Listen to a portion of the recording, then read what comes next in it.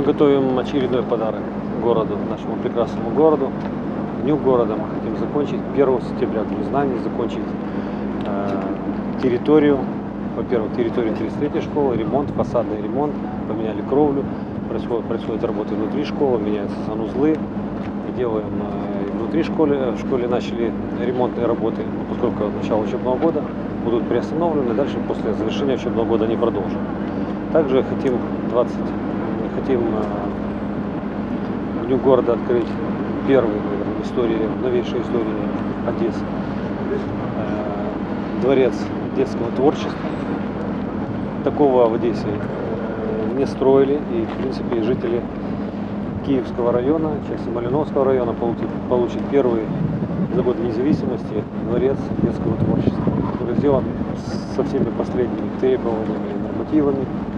Хороший актовый зал, как мы его называли, на самом деле такое очень красивое оригинальное решение. Светлые классы для занятий танцами, хореографией, различными направлениями. Планируем это закончить вовремя.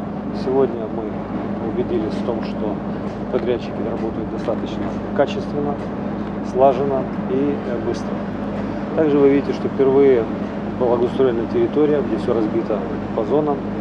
Площадка для бадминтона, волейбола, баскетбола, настольного тенниса, футбола, беговые дорожки.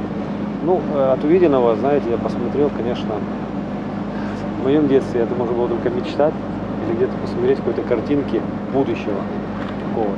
Но сегодня будущее наступило.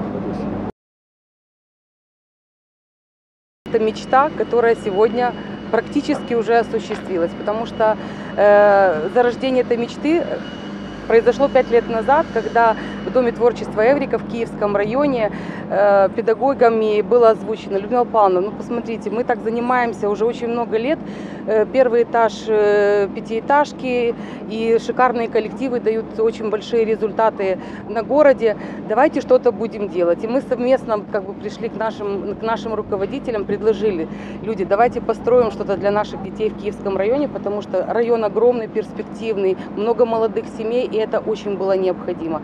Город поддержал идею, проектировщики спроектировали здание. Сегодня мы уже идем на, на исходную, и э, ну, мы ждем, что скоро откроемся и будем принимать наших юных одесситов. Это будут детки от 3,5 до 21 года, молодежь. Э, Пространство для занятий хореографией, э, пространство для занятий компьютерного кружка, дизайн и моделирование одежды на закупленное оборудование, студия звукозаписи, Э, планируем звук, э, видеозапись, если у нас все получится, вокально-инструментальный ансамбль, хоровое э, мастерство. В общем, все, что связано с творчеством, изобразительное искусство. Э, Два шикарных э, светлых кабинета именно под ИЗО. Так что у нас будет очень интересно и много всего.